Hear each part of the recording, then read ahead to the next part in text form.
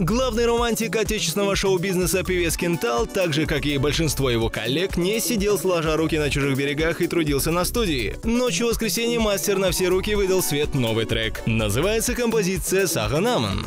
сағынамын сені жүрсең шалғайда сөзің балдайма бақыттың өзің қонған маңдайға Напомним, что еще осенью Кентал обещал серию дуэтов с коллегами по цеху и вроде как начал за здравие, выпустив совместную с Газизой Габдрахимовой композицию, однако потом принялся штамповать сольные треки. В ближайшее время мы обязательно узнаем, почему Талгат не держит слова, так что следите за эфиром.